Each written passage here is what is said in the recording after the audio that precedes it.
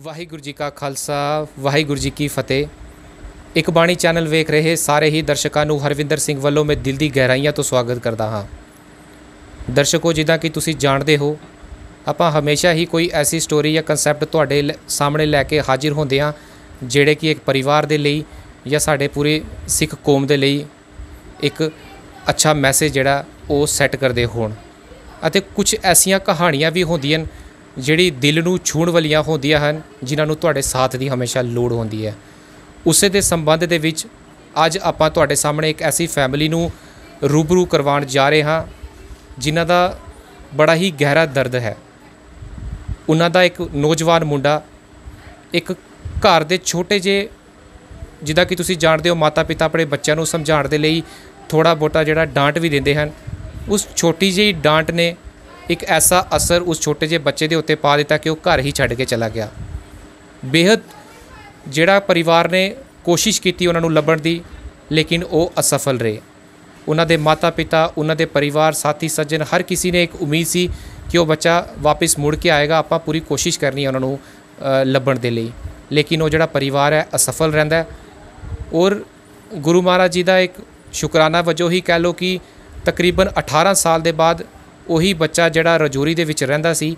18 ਸਾਲ ਦੇ ਬਾਅਦ ਕਿਸੇ ਆਰਮੀ ਵਾਲਿਆਂ ਨਾਲ ਉਹਨਾਂ ਦੀ ਮੁਲਾਕਾਤ ਹੁੰਦੀ ਹੈ ਤੇ ਉਹ ਵੈਸਟ ਬੰਗਾਲ ਦੇ ਵਿੱਚ ਹੁੰਦੇ ਹਨ ਇੱਕ ਛੋਟੀ ਜਿਹੀ ਅਪੀਲ ਪਰਿਵਾਰ ਦੇ ਤਰਫ ਤੋਂ ਕੀਤੀ ਜਾਏਗੀ।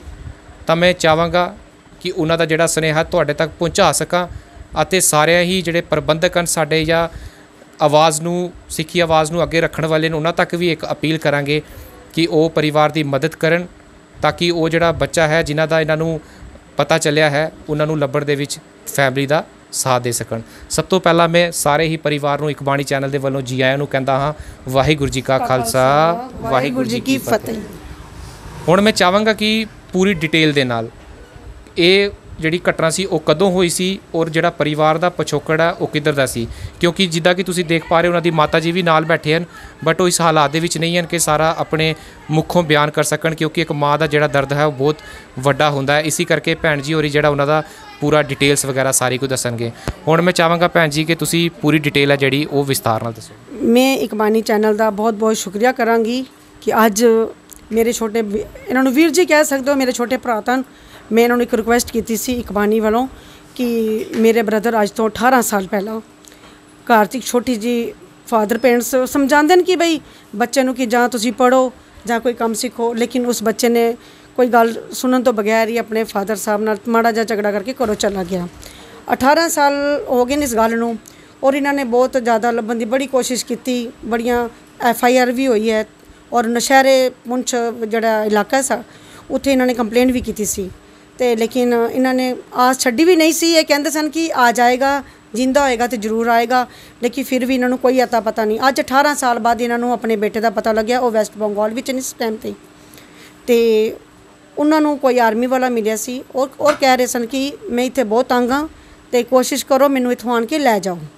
ਉਹਨਾਂ ਨੇ ਆਪਣਾ ਪੂਰਾ ਐਡਰੈਸ ਦਿੱਤਾ ਔਰ ਅਸੀਂ ਇਹ ਵੀ ਨਹੀਂ, ਅਸੀਂ ਪਹਿਲਾਂ ਸੋਚਦੇ ਸੀ ਕਿ ਹੋ ਸਕਦਾ ਕਿ ਕੋਈ ਆਦਮੀ ਗਲਤ ਵੀ ਨਾ ਹੋਵੇ, ਲੇਕਿਨ ਨਹੀਂ, ਉਹਨਾਂ ਨੇ ਆਪਣਾ ਪੂਰਾ ਐਡਰੈਸ ਦਿੱਤਾ, ਉਹਨਾਂ ਨੇ ਆਪਣਾ ਘਰ ਦਾ ਨਾਮ ਦੱਸਿਆ, ਆਪਣਾ ਨਾਮ ਦੱਸਿਆ, ਆਪਣੇ ਫਾਦਰ ਸਾਹਿਬ ਦਾ ਨਾਮ ਦੱਸਿਆ, ਆਪਣੀਆਂ ਭੈਣ ਭਰਾ ਸਭ ਦਾ ਦੱਸਿਆ ਪੂਰਾ। ਉਸ ਜਗ੍ਹਾ ਦਾ ਉਹ ਟਿੱਬਾ ਜੋ ਸੀ 18 ਸਾਲ ਪਹਿਲਾਂ ਉਸ ਟਾਈਮ ਤੇ ਉੱਥੇ ਸੀ, ਉਹਦੇ ਬਾਰੇ ਵੀ ਦੱਸਿਆ। ਤੇ ਮੇਰੀ ਤੁਹਾਡੇ ਇਕਬਾਨੀ ਚੈਨਲ ਵੱਲੋਂ ਸਾਰੇ ਸਿੱਖ ਬਰਾਦਰ ਭਾਈਚਾਰੇ ਵੱਲੋਂ ਇੱਕ ਰਿਕੁਐਸਟ ਹੈ ਕਿ ਤੁਸੀਂ ਇਹਨਾਂ ਦੇ ਨਾਲ, ਮੋਢੇ ਨਾਲ ਮੋਢਾ ਜੋੜ ਕੇ ਇਹਨਾਂ ਦੀ ਇੰਨੀ ਹੈਲਪ ਕਰੋ ਕਿ ਇਹ ਇਹਨਾਂ ਦਾ ਬੱਚਾ ਆਪਣੇ ਘਰ ਵਿੱਚ, ਆਪਣੇ ਮਾਤਾ ਜੀ ਦੇ ਘਰ ਆਪਣੇ ਵਾਪ- ਵਾਪਿਸ ਆ ਸਕੇ। ਬਿਲਕੁਲ ਬਿਲਕੁਲ। ਜਿੱਦਾਂ ਕਿ ਮੈਂ ਗੱਲ ਕਰ ਰਿਹਾ ਸੀ ਪਰਿਵਾਰ ਨਾਲ ਬੇहद ਦਿਲ ਨੂੰ ਝੰਜੋੜ ਦੇਣ ਵਾਲੀ ਇਹਨਾਂ ਨੇ ਗੱਲ ਦੱਸੀ ਕਿ ਉਹਨਾਂ ਦੇ ਜਿਹੜੇ ਫਾਦਰ ਸਾਹਿਬ ਸਨ, ਉਹ ਅੱਜ ਇਸ ਦੁਨੀਆ ਦੇ ਵਿੱਚ ਨਹੀਂ ਰਹੇ। ਪਿਤਾ ਦੀ ਇੱਕ ਆਸ ਹੁੰਦੀ ਹੈ ਕਿ ਜਾਂਦੇ ਵਾਰੀ ਜਿਹੜਾ ਉਸ ਦਾ ਅੰਤਿਮ ਜਿਹੜੀ ਉਹਨਾਂ ਦੀ ਦੇਹ ਹੁੰਦੀ ਹੈ, ਉਹਨਾਂ ਨੂੰ ਸੰਸਕਾਰ ਉਹਨਾਂ ਦਾ ਪੁੱਤਰ ਹੀ ਕਰੇ ਬਟ ਫੈਮਿਲੀ ਵਾਸਤੇ ਵੀ ਇਹ ਬਹੁਤ ਹੀ ਵੱਡੀ ਦੁੱਖ ਵਾਲੀ ਗੱਲ ਸੀ। ਤਾਂ ਮੈਂ ਚਾਹੁੰਦਾ ਸੀ ਕਿ ਮਾਤਾ ਹੋਰਾਂ ਦਾ ਵੀ ਜਿਹੜਾ ਸੁਨੇਹਾ ਤੁਹਾਡੇ ਤੱਕ ਪਹੁੰਚਾ ਸਕਾਂ, ਲੇਕਿਨ ਮਾਂ ਦਾ ਦਰਦ ਤੁਸੀਂ ਸਮਝ ਸਕਦੇ ਹੋ। ਜੀ ਹਾਂ, ਦਰਸ਼ਕੋ, ਉਸ ਜਿਹੜਾ ਬੱਚਾ ਸੀ ਉਸ ਦਾ ਨਾਮ ਜਿਹੜਾ ਸੀ ਗੁਰਮੀਤ ਸਿੰਘ ਸੀ ਔਰ ਜਿਹੜਾ ਇਹਨਾਂ ਦੇ ਪਰਿਵਾਰ ਦਾ ਪਿਛੋਕੜ ਹੈ, ਉਹ ਸੀ ਨੌਸ਼ਹਿਰਾ ਜਿਹੜੀ ਤਹਿਸੀਲ ਹੈ ਡਿਸਟ੍ਰਿਕਟ ਰਜੌਰੀ ਦੇ ਵਿੱਚ।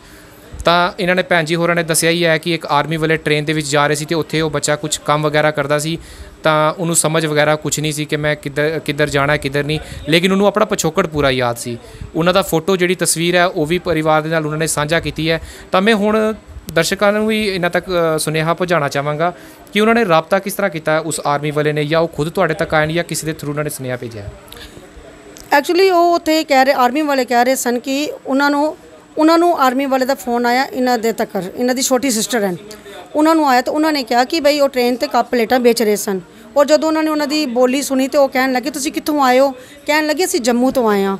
ਤੇ ਉਹਨਾਂ ਨੇ ਕਿਹਾ ਕਿ ਮੈਂ ਵੀ ਜੰਮੂ ਦਾ ਰਹਿਣ ਵਾਲਾ ਉਹਨਾਂ ਨੇ ਕਿਹਾ, ਅਗਰ ਤੂੰ ਜੰਮੂ ਦਾ ਰਹਿਣ ਵਾਲਾ ਤੂੰ ਇੱਥੇ ਕੀ ਕਰ ਰਿਹਾ ਉਹਨੇ ਫਿਰ ਆਪਣੀ ਪੂਰੀ ਉਹ ਸਟੋਰੀ ਸੁਣਾਈ ਕਿ ਮੈਂ 18 ਸਾਲ ਪਹਿਲਾਂ ਕਿਸ ਤਰ੍ਹਾਂ ਆਇਆ, ਕਿਸ ਗੱਡੀ ਵਿੱਚ ਬੈਠਾ ਸੀ, ਕੌਣ ਮੈਨੂੰ ਇੱਥੇ ਛੱਡ ਗਿਆ, ਫਿਰ ਉਸਨੇ ਆਪਣਾ ਪੂਰਾ ਬਾਇਓਡਾਟਾ ਦਿੱਤਾ। ਬਿਲਕੁਲ, ਤਾਂ ਹੁਣ ਮੈਂ ਤੁਹਾਡੇ ਸਾਹਮਣੇ ਉਹਨਾਂ ਦੀ ਆਡੀਓ ਵੀ ਜਿਹੜੀ ਹੈ, ਉਹ ਮੈਂ ਪੇਸ਼ ਕਰਾਂਗਾ ਤੇ ਅਤੇ ਉਹਨਾਂ ਦੀ ਜਿਹੜੀ ਫੋਟੋਗ੍ਰਾਫਸ ਹੈ ਉਹ ਵੀ ਤੁਹਾਡੇ ਤੱਕ ਜ਼ਰੂਰ ਪਹੁੰਚਾਵਾਂਗਾ बोल आप अपना बोल तू बोल में दबा के रख बोल अदा हाँ, बोल बोल सा जा तू अपना पूरा एड्रेस जिला रजौरी तहसील निशरा डाकखाना मेरिया मेरा डाकखाना मेरा ঠিক আছে কিন্তু আমি তো অনেক দিন তো এখানে আছি हाँ, वो- আমি বাড়ি যাতে পারছি না और दस आता है पहाड़ी और था ये वो है ब- बोल दा আমার নাম এই নারিয়া মেরা বিএস ক্যাম্প ছাড়ি ওর প্রথম বাড়ি আমাদের বাড়ি। আমি বাড়ি যেতে পারছি না। ਉਹਨੇ ਤਾਂ ਫੈਮਿਲੀ ਦੀ ਇੱਕੋ ਅਪੀਲ ਜਿਹੜੀ ਹੈਗੀ ਆ ਇਹਨਾਂ ਨੂੰ ਫਾਈਨੈਂਸ਼ੀਅਲੀ ਨਹੀਂ, ਉਹਨਾਂ ਨੂੰ ਸਾਥ ਚਾਹੀਦਾ ਕਿਸੇ ਪੂਰੀ ਸਿੱਖ ਸੰਗਤ ਦਾ, ਤਾਂ ਕਿ ਕੋਈ ਇਹਨਾਂ ਦੇ ਨਾਲ, ਮੋਢੇ ਨਾਲ ਮੋਢਾ ਜੋੜ ਕੇ ਖੜਾ ਹੋ ਸਕੇ ਔਰ ਉਹਨਾਂ ਨੂੰ ਲੈਣ ਜਾ ਸਕੇ। ਕਿਉਂਕਿ ਵੈਸਟ ਬੰਗਾਲ ਜਿਹੜੀ ਸਟੇਟ ਹੈ, ਉਹ ਬਹੁਤ ਹੀ ਦੂਰ ਹੈ ਔਰ ਫੈਮਿਲੀ ਨੂੰ ਵੀ ਇਸ ਚੀਜ਼ ਦਾ ਪਤਾ ਨਹੀਂ ਹੈ। ਅਗਰ ਕੋਈ ਇਹਨਾਂ ਦੀ ਦਰਸ਼ਕ ਵੀ ਹੈਲਪ ਕਰਨਾ ਚਾਹਣਗੇ, ਚਾਹੇ ਉਹ ਨਾਲ ਖੜੇ ਹੋਣ ਦੀ ਗੱਲ ਹੈ ਇਸ ਵਕਤ ਪੂਰੇ ਪਰਿਵਾਰ ਦੇ ਨਾਲ, ਕਿਉਂਕਿ ਮਾਤਾ ਜੀ ਹੋਰਾਂ ਦਾ ਦਰਦ ਦੇਖ ਕੇ ਯਕੀਨ ਮੰਨਣਾ ਕਿਤੇ ਨਾ ਕਿਤੇ ਅੱਖਾਂ ਦੇ ਵਿੱਚ ਖੋਜੀ ਹੀ ਜਿਹੜੇ ਹਨ, ਉਹ ਹੰਝੂ ਆ ਜਾਂਦੇ ਹਨ। ਤਾਂ ਮੈਂ ਹੁਣ ਅਖੀਰ ਦੇ ਵਿੱਚ ਹੁਣ ਪੂਰਾ ਐਡਰੈਸ ਤੁਸੀਂ ਵੀ ਆਪਣੇ ਤਰਫੋਂ ਦੱਸ ਦਿਓ ਤਾਂ ਕਿ ਦਰਸ਼ਕ ਅਗਰ ਕੰਟੈਕਟ ਕਰਨਾ ਚਾਹਣ ਤੇ ਉਹ ਵੀ ਕਰ ਸਕਣ। ਉਹਨਾਂ ਦਾ ਨਾਮ ਕੀ ਸੀ ਜਾਂ ਮਾਤਾ ਹੋਰਾਂ ਦਾ ਨਾਮ ਕੀ ਹੈ ਔਰ ਉਹ ਕਿਹੜੇ ਪਿੰਡ ਦੇ ਨੇ? ਉਹਨਾਂ ਦਾ ਜਿਹੜਾ ਇਹਨਾਂ ਦਾ ਬੇਟਾ ਮਿਸਿੰਗ ਹੋਇਆ, ਉਹਨਾਂ ਦਾ ਨਾਮ ਸਰਦਾਰ ਗੁਰਮੀਤ ਸਿੰਘ ਹੈ। ਸਨ of Sardar late Sardar Charan Singh, Nowshera tehsil Rajouri. Contact number ਹੈ 7051387727 ਬਿਲਕੁਲ ਭੈਣ ਜੀ ਹੋਰਾਂ ਨੇ ਪੂਰਾ ਐਡਰੈਸ ਦਿੱਤਾ ਹੈ। ਅਸੀਂ ਵੀ ਹੱਥ ਜੋੜ ਕੇ ਸੰਗਤ ਨੂੰ ਇੱਕੋ ਅਪੀਲ ਕਰਦੇ ਹਾਂ ਕਿਉਂਕਿ ਜ਼ਿਲ੍ਹੇ ਸਾਡੇ ਸਿੱਖ ਫੈਮਿਲੀ ਐਸੇ ਦੌਰ ਤੋਂ ਗੁਜ਼ਰਦੇ ਹਨ ਸਾਡਾ ਫਰਜ਼ ਬਣਦਾ ਉਹਨਾਂ ਦੀ ਬਾਹ ਪਕੜਨ ਦਾ। ਅ, ਤੇ ਸਾਡਾ ਵੀ ਤੁਹਾਡੇ ਅੱਗੇ ਇਹੀ ਅਪੀਲ ਹੈ ਕਿ ਨੰਬਰ ਔਰ ਕੰਟੈਕਟ ਨੰਬਰ ਔਰ ਸਾਰੀ ਡਿਟੇਲ ਭੈਣ ਜੀ ਹੋਰਾਂ ਨੇ ਤੁਹਾਡੇ ਨਾਲ ਸਾਂਝਾ ਕਰ ਦਿੱਤੀ ਹੈ। ਇੱਕ ਮਾਂ ਦੇ ਲਈ ਤੁਸੀਂ ਇੱਕ ਮਸੀਹਾ ਬਣ ਕੇ ਹੀ ਆਣਾ ਕਿਸੇ ਨੇ ਜਾਂ ਸਾਥ ਦੇਣਾ ਇਸ ਫੈਮਿਲੀ ਦਾ ਤਾਂ ਕਿ ਐਡਰੈਸ ਦਾ ਤੇ ਇਹਨਾਂ ਨੂੰ ਪਤਾ ਚੱਲ ਗਿਆ ਲੇਕਿਨ ਗੱਲ ਫਿਰ ਉੱਥੇ ਆਉਂਦੀ ਹੈ ਕਿ ਇਕੱਲੇ ਜਾ ਨਹੀਂ ਸਕਦੇ ਮਾਤਾ ਹੋਰ ਤੁਸੀਂ ਦੇਖ ਹੀ ਸਕਦੇ ਹੋ। ਇੰਨਾ ਹੀ ਕਹਿੰਦਾ ਹੋਇਆ ਇੱਕ ਉਮੀਦ ਦੇ ਨਾਲ ਤੁਹਾਡੇ ਨਾਲ ਅਲਵਿਦਾ ਮੰਗਾਗਾ ਕਿ ਕੋਈ ਨਾ ਕੋਈ ਇਹ ਵੀਡੀਓ ਦੇਖ ਕੇ ਜ਼ਰੂਰ ਇਹਨਾਂ ਦੀ ਹੈਲਪ ਲਈ ਆਏਗਾ ਔਰ ਖਾਸ ਕਰ ਪ੍ਰਬੰਧਕ। ਪ੍ਰਬੰਧਕਾਂ ਨੂੰ ਚੁਣ ਕੇ ਪੂਰੇ ਹੀ ਸਿੱਖ ਸਮਾਜ ਨੇ ਅੱਗੇ ਭੇਜਿਆ ਹੁੰਦਾ ਤੇ ਉਹਨਾਂ ਦਾ ਵੀ ਫਰਜ਼ ਬੰਦਾ ਹੈ। ਆਪਾਂ ਵੀ ਕੋਸ਼ਿਸ਼ ਕਰਾਂਗੇ ਕਿ ਆਪਣੀ ਆਵਾਜ਼ ਜਿਹੜੀ ਹੈ ਉਹਨਾਂ ਤੱਕ ਪਹੁੰਚਾ ਸਕੀਏ ਤਾਂ ਕਿ ਪ੍ਰਬੰਧਕ ਇਸ ਫੈਮਿਲੀ ਨਾਲ ਆ ਕੇ ਖੜੇ ਹੋਣ ਅੱਗੇ ਦੀ ਜਿਹੜਾ ਪ੍ਰੋਸੀਜਰ ਹੈ ਤੁਹਾਡੇ ਤੱਕ ਜਿਹੜਾ ਬਿਆਨ ਕਰ ਸਕਣ। ਇਨ੍ਹਾਂ ਹੀ ਅਲਫਾਜ਼ਾਂ ਦੇ ਨਾਲ ਅਲਵਿਦਾ ਮੰਗਦਾ ਹਾਂ। ਦਿਓ ਅਸੀਸਾਂ। ਵਾਹਿਗੁਰੂ ਜੀ ਕਾ ਖਾਲਸਾ। ਵਾਹਿਗੁਰੂ ਜੀ ਕੀ ਫਤਿਹ। ਬੋਲ ਆਪਣਾ ਬੋਲ ਤੂੰ ਬੋਲ ਮੈਂ ਦਬਾ ਕੇ ਬੋਲ।